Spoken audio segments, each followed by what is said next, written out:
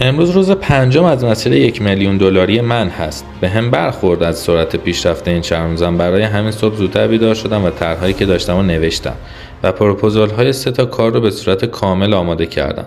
بعد از اون تصمیم گرفتیم ویدیوی ترای نات تو لف رو در یک فضای آزاد و متفاوت ضبط کنیم. پس شروع کردیم به جمع کردن وسایل و راه افتادن به سمت مقصد. ولی انقدر طول کشید راه افتادن و مسیر طولانی بود که خیلی دیر رسیدیم و عملا آفتاب دیگه رفته بود.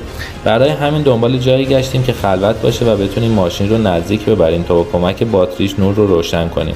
که خودش کار زمانبری بود و بعد از اون شروع به ضبط فیلم کردیم که فکر می‌کنم برای بار اول بد نشده و به زودی روی یوتیوب آپلودش می‌کنم. ولی انقدر دیر برگشتیم خونه و خسته بودیم که الان دارم ویدیو رو edit می‌کنم و با تاخیر آپلود میشه. راستی ویدیو قبلی روی یوتیوب حدود 400 ویو خورد و این خیلی به هم انرژی داد. خوشحال میشم اگه یوتیوب رو هم سابسکرایب کنید